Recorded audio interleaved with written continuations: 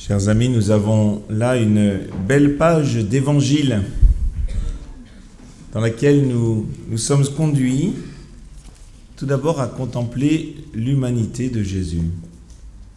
Jésus, nous dit l'Évangile, se rendit dans son lieu d'origine, le lieu où il a grandi, le lieu où on l'a connu tout petit, sans doute bien des acteurs de cette scène d'Évangile, eh bien, l'ont connu petit, l'ont connu courir avec ses amis, l'ont connu servir parmi les gens du village, et sont intrigués, sont intrigués par une autre origine. D'où lui vient cette sagesse?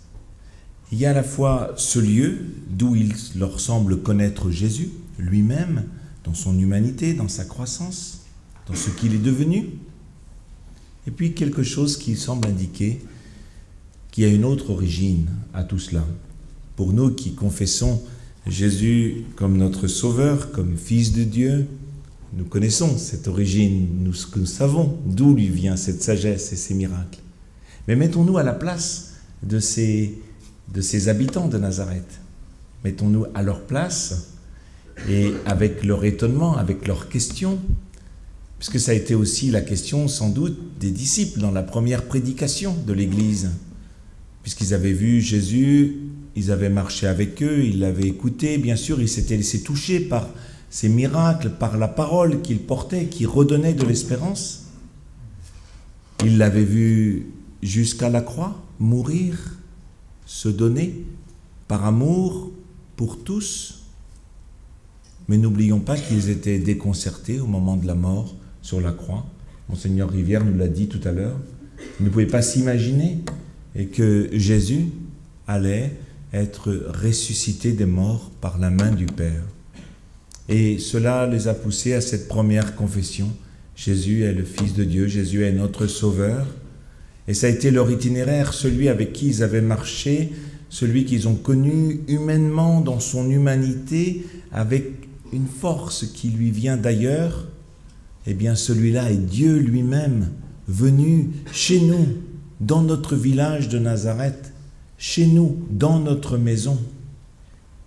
Et si nous ne faisons pas cet itinéraire-là, si nous-mêmes ne nous laissons pas toucher par cela, alors notre prédication chrétienne, notre prédication, elle est creuse. Le kérim doit absolument contenir toute cette descente de Dieu vers nous, son incarnation. Il est venu il connaît notre humanité mieux que nous-mêmes, non seulement parce que Dieu est notre créateur, mais parce qu'il est venu l'habiter, sa création, pour pouvoir la sauver et l'ouvrir complètement à sa vie. Alors cette identité de Jésus, on comprend que les gens de Nazareth ne pouvaient, avaient du mal à s'y ouvrir. Peut-être est-ce aussi notre chemin à nous, parfois peut-être même en chemin inverse. On va confesser Jésus, Fils de Dieu, et on va oublier son humanité. Tenir les deux est difficile. C'est le chemin de notre foi chrétienne. Mais on comprend que ces gens de Nazareth ont eu du mal à s'ouvrir à cette origine qui, qui est de Dieu, qui est en Dieu, et qui vient toucher leur village, qui vient toucher leur cœur, qui vient les guérir, qui vient les relever. Et je vous invite à faire pour, pour vous-même aussi cet itinéraire. Parce que nous-mêmes, quand nous nous présentons, nous nous présentons avec notre histoire, avec nos réseaux, nos réseaux avec, euh, avec ceux qui nous connaissent bien, avec notre famille, nos amis. Et au fond, on ne dit pas tout encore de notre identité nous-mêmes. Parce que Dieu nous a rachetés, il nous a aimés depuis toujours, le pape nous l'a rappelé euh, hier. Nous sommes aimés depuis toute éternité. Et je me rappelais en entendant le pape hier, une petite scène qu'on m'a racontée avec c'était une, une, maman dans une des paroisses dans lesquelles j'étais curé et, qui m'avait dit que elle avait sa petite fille sur ses genoux et elle lui racontait le récit de, la, de l'annonciation avec l'ange qui dit à Marie qui lui annonce qu'elle sera enceinte, qu'elle enfantera celui qu'on appellera le fils du Très-Haut. Et la petite fille était très impressionnée par ce récit. Alors elle dit à sa maman et à toi, qu'est-ce qu'il a dit pour moi? Je trouve que c'était magnifique. Alors la maman était très touchée par ça. elle m'a dit qu'elle n'avait pas su quoi répondre. C'est pour ça qu'elle m'en avait parlé. Mais peut-être aurait-elle pu lui répondre, eh bien que le Seigneur lui dit aujourd'hui qu'il la connaît depuis toujours et qu'il l'aime pour l'éternité, qu'il l'a créée pour la vie, la vie pleine, la vie généreuse, la vie éternelle. Alors, comment comprendre que Jésus, dans son village d'origine, se trouve ainsi confronté à ce regard, encore une fois, on le comprend bien, et puis est limité? C'est comme si la puissance de Dieu semblait être limitée par la capacité d'accueil et d'ouverture de ce village. Eh bien là, nous entrons dans une, autre forme de, conséquence de cela. C'est que, de conséquence de notre foi ou de la formulation de notre foi, ce n'est pas la foi qui crée l'amour de Dieu, mais Dieu a besoin de notre foi pour déverser son amour.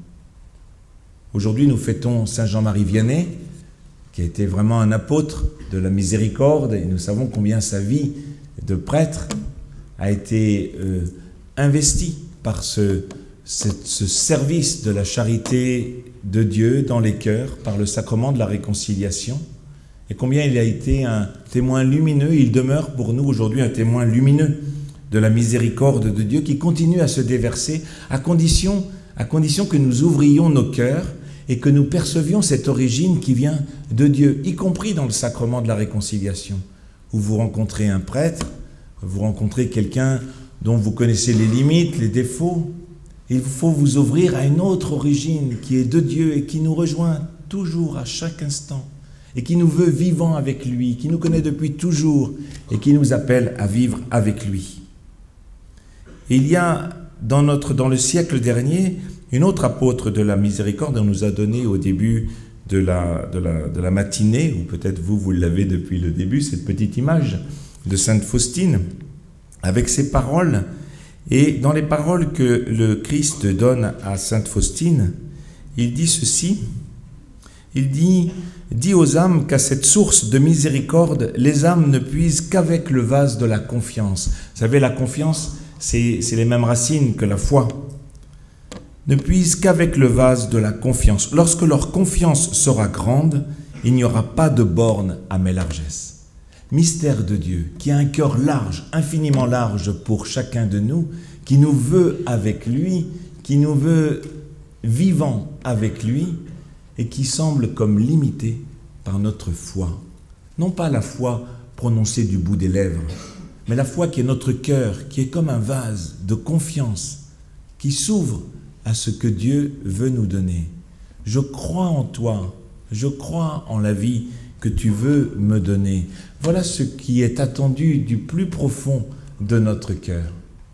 Et souvent, lorsque nous confessons nos péchés, lorsque nous, nous regrettons ce que nous avons fait, nous ne nous ouvrons pas vraiment à cette miséricorde. Ou alors lorsque nous le faisons, c'est peut-être l'expérience de Pierre-Louis ce matin qui nous a partagé, alors nous sommes saisis par cette source qui vient d'ailleurs et qui est infiniment au-delà de nos calculs. Et là, je vais reprendre encore une petite image, peut-être toujours avec, avec la maman et sa petite fille, mais un peu comme une parabole, une, une métaphore. Imaginons que cette petite fille, avec sa maman, eh bien, un peu plus tard, elle comprend qu'elle est aimée de Dieu, et voilà qu'elle fait une bêtise, rien de bien grave, elle a cassé la pile d'assiettes, ou je ne sais pas. Et puis elle se rend compte de sa faute, elle est peinée par le dégât qu'elle a, qu'elle a fait d'abord, mais elle est peinée aussi par euh, la relation avec sa maman qui sera blessée de ce qu'elle a fait ou de ce qu'elle a mal fait avec les autres, ainsi de suite. Lorsqu'elle comprendra ça, et lorsqu'elle aura peur que l'amour de sa maman soit atteint, eh bien, elle va user de stratégies, de stratagèmes peut-être auprès de sa maman pour pouvoir comme récupérer son amour. Peut-être elle va faire des dessins, elle va s'approcher pour faire un câlin, peut-être elle mettra la table, elle fera des petites choses pour montrer, pour comme racheter cet amour. Ça, c'est du côté de la petite fille. Mais du côté de la maman, ça n'a pas bougé d'un iota l'amour de la maman pour sa petite fille. C'est pas la pile d'assiettes qui va changer quelque chose à l'amour de la maman pour sa petite fille. Ça n'a pas bougé d'un iota. Ça, c'est dans la tête de la petite fille. Et souvent, je pense que pour nous-mêmes, lorsque nous vivons le sacrement de la miséricorde, lorsque nous nous tenons devant Dieu infiniment miséricordieux, eh bien, nous sommes un peu comme cette petite fille, à calculer, peut-être même à se sentir indigne de l'amour de Dieu. Mais c'est fait, mes amis. C'est fait. Dieu nous aime chacun. On nous l'a redit hier avec force. Le pape nous l'a redit. C'est fait et ça ne bouge pas. Ça ne bouge pas d'un iota. Le Seigneur nous aime, nous veut vivants avec lui. Il ne dépend que de nous que d'accepter d'être ainsi aimés et de nous approcher de lui avec notre foi, avec notre confiance, comprenant que d'où nous vient cet amour, l'origine de cet amour qui est vraiment le mystère de notre création, et comprenant l'amour infini par lequel nous sommes rachetés. Saint Jean-Marie Vianney n'avait de cesse que d'exhorter ceux qu'il rencontrait à leur rappeler cela et à les inviter à ne plus se poser de questions. Quand il, quand il s'était confessé, il disait Oubliez votre péché, Dieu a oublié, avancez. Avancez, laissez-vous aimer et vivez généreusement de cette charité en vos cœurs. Je cite euh, quelques paroles de lui pour finir. Il disait quand le prêtre donne l'absolution, il ne faut penser qu'à une chose, c'est que le sang du bon Dieu coule sur notre âme pour laver, pour la laver, pour la purifier et la rendre aussi belle qu'elle était au baptême. Le cœur de Dieu ne bouge pas pour nous. Il n'a de cesse que de nous rendre la vie et c'est ce que nous vivons de plus merveilleux lorsque nous nous approchons de ce mystère de la miséricorde de Dieu. Alors peut-être que cet après-midi, et même à l'instant, lorsque nous entrons dans la liturgie de l'Eucharistie, que nous entrons dans la célébration du mystère, du sacrifice du Christ qui nous donne sa vie, cet après-midi, nous serons à méditer devant la croix. Eh bien, rappelons-nous cette parole d'amour fou de Dieu pour chacun de nous. Et peut-être je vous invite à, le dire pour vous-même.